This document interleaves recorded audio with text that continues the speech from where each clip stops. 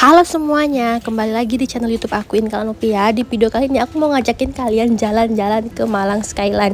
Ini tuh wisata baru yang ada di Malang. Tempat wisatanya keren banget, banyak banget tempat spot foto dan harga tiket masuknya itu 35.000 untuk dewasa, untuk balita 15.000 dari umur 3 tahun sampai 6 tahun dan untuk anak-anak 25.000 per orang. Untuk yang balita itu udah free uh, tiket masuk ke playground ini lagi rame banget pengunjung karena hari Minggu. Sebenarnya datang ke sini tuh enaknya tuh di jam-jam sore mau menjelang malam karena ini bukanya sampai jam 10 malam. Jadi kalian bisa menikmati suasana siang hari, sore hari dan bisa menikmati suasana malam hari. Pokoknya keren banget sih. Menurut aku ini tuh recommended banget. Tapi untuk saat ini memang belum terlalu rampung ya pembangunannya. Masih ada yang belum selesai apalagi untuk parkirannya. Untuk parkirannya masih tanah, belum dicor, belum ada jalan aspalnya jadi kalian nggak usah kaget ya namanya juga wisata baru ya berproses. Nanti juga lama-lama bakalan bagus. Nah kita naik ke jembatan ini. Bener-bener bagus banget kayak di Bromo gitu. Jadi nggak perlu jauh-jauh ke Bromo ya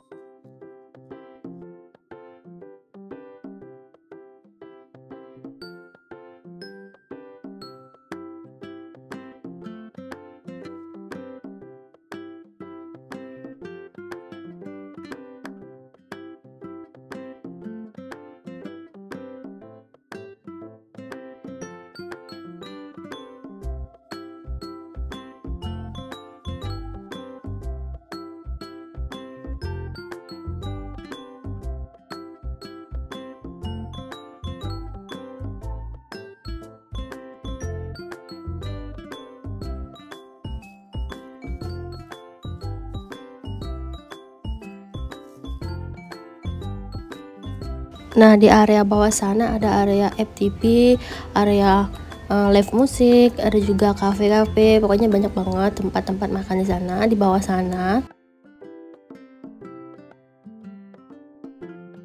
Di atas jembatan ini juga disediain tempat duduk. Pokoknya bagus banget buat foto-foto di atas jembatan ini dengan view gunung Kota Malang.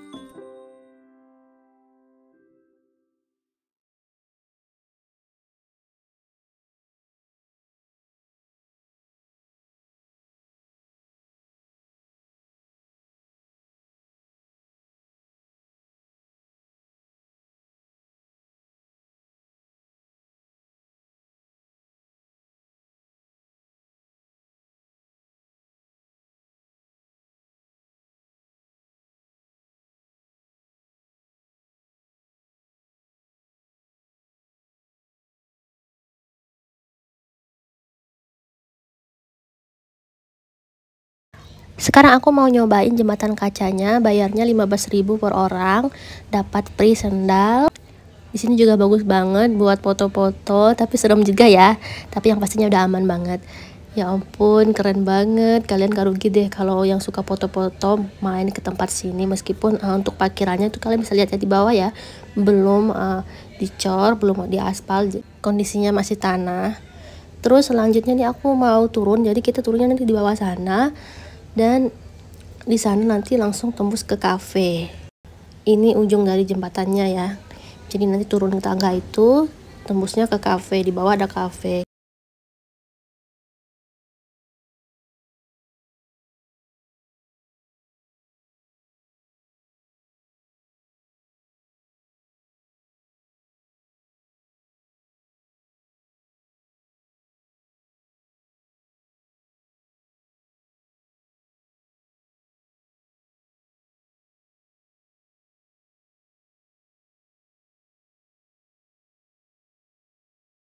sekarang aku mau turun ke bawah jadi di bawah itu seperti ini. Ini ada lokasi FTV area skuter ada skuter juga di sini dan cafe-cafe area live musik ini sebenarnya sih memang belum terlalu uh, rampung ya tapi nanti lama-lama pasti bakalan bagus. Namanya juga baru ya berproses pembangunannya.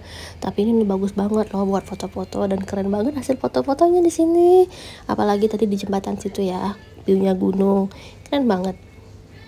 Nah sekarang aku mau keliling lagi mau lihat-lihat ada apa aja di bawah sini. Ternyata banyak banget nih jajanan dan masih banyak banget sih. Setiap sudutnya itu bagus banget buat dijadiin spot foto. Dan ini tuh luas banget bangunannya. Foto-foto di bawah jembatan ini juga bagus banget dengan view jembatan. Keren banget. Lalu setelah ini aku mau nyobain spot yang satu ini. Jadi aku mau nyobain ini.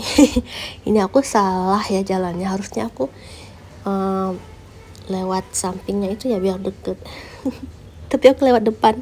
Gak apa-apa. Di sini aku mau nyoba foto di sini. Ini juga keren banget foto di sini tapi harus hati-hati ya karena naik jaring-jaringnya itu juga susah banget. Jadi harus lepas sandal. Oke sekarang kita mau foto-foto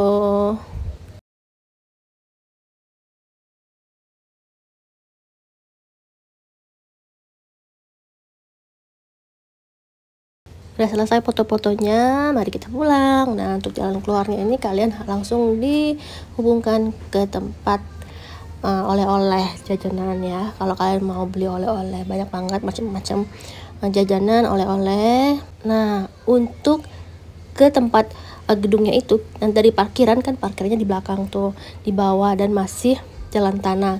Kita bakal naik uh, angkutan ini loh nih jadi nanti diangkut pakai angkutan itu menuju ke atas karena kan kalau mau jalan kaki jauh tuh dari parkiran ada tiga angkutannya jadi harus antri ya Oke teman-teman, sekian dulu ya review dari wisata Skyline Malang. Eh, Malang Skyline. Pokoknya kalau kalian mau ke sini, cobain aja deh. Bagus kok.